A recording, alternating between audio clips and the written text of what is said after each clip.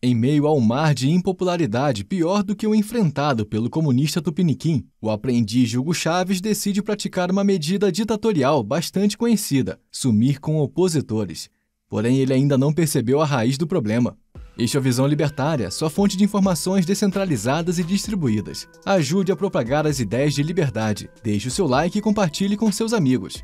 A Venezuela realizará eleições em 28 de julho de 2024. Apesar de parecer surpreendente à primeira vista, na prática, todos nós sabemos do que se trata: um show eleitoral bizarro para o Maduro legitimar seu controle no país. Todos os observadores internacionais a esta altura do campeonato já perceberam que a Venezuela é uma ditadura socialista, o que fortalece o argumento.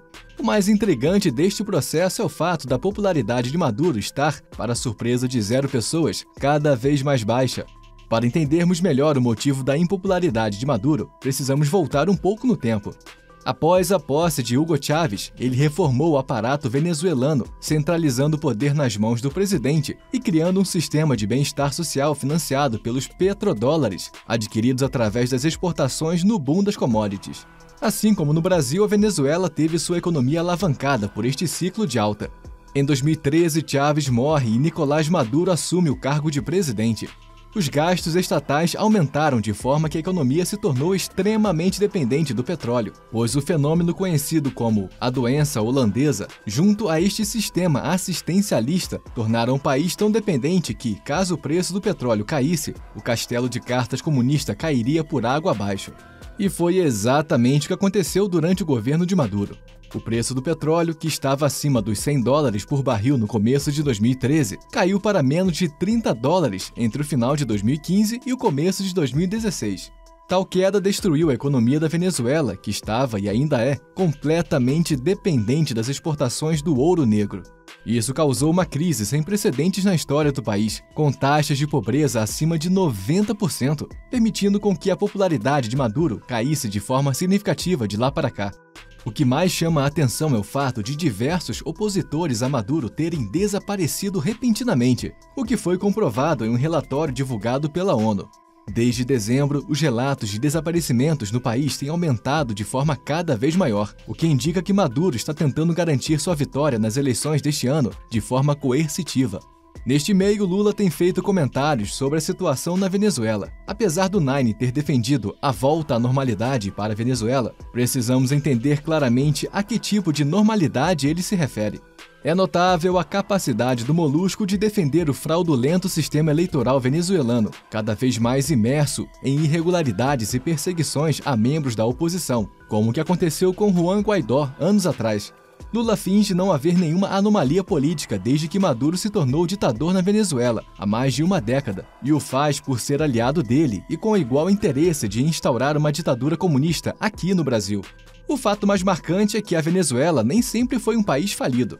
Mesmo utilizando as métricas estatais, nos anos 70 e 80, a Venezuela possuía um padrão de vida maior do que no Brasil, com um PIB per capita mais elevado. Cidades como Caracas eram referência e a economia no geral era mais livre do que atualmente. Ao introduzir o populismo na Venezuela, Chávez começou o processo evidenciado por Hayek no livro O Caminho da Servidão, onde o Estado se torna cada vez mais inchado, a ponto de controlar a sociedade de forma absoluta. Ao entendermos isso, fica claro que desde o primeiro dia em que Chávez se tornou presidente, o caminho era se tornar uma ditadura socialista, quer ele quisesse, quer não, pois a tendência do Estado, especialmente em países socialistas, é crescer. Isto se deve ao fato de que quanto maior é o Estado, mais poder tem a elite partidária e seus burocratas. Portanto, as eleições na Venezuela não são um ar de alívio para a oposição a Maduro. Pelo contrário, o mesmo fará o possível e o impossível para distorcer o resultado das eleições e mostrar ao povo que ele ainda é o mais popular, assim como qualquer ditador comunista faz. Pode parecer piada, mas na Coreia do Norte há eleições, e em todas elas o gordinho nuclear sempre ganha, pelo simples fato de que ele pode distorcer o resultado. Mas fiquem tranquilos, pois aqui no Brasil o resultado é confiável. De forma irônica, muitos comunistas e socialistas se dizem ser os verdadeiros defensores da democracia, ou que sua ideologia representa a verdadeira democracia. Porém, que tipo de democracia é essa na qual somente um partido concorre, ou um ou dois candidatos pré-selecionados são eleitos de forma alternada? Este é o tipo de democracia que existia na União Soviética, onde, mesmo na época de Stalin, havia eleições com resultados deturpados e sem base na realidade, de forma a garantir o monopólio de poder do partido sobre a sociedade.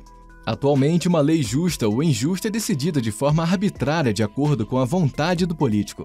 Em nosso sistema de democracia representativa, você escolhe apenas o candidato e não as pautas que o mesmo irá propor para se tornarem leis. E quando a lei não é do seu agrado, a desculpa é de que você escolheu o político para te representar.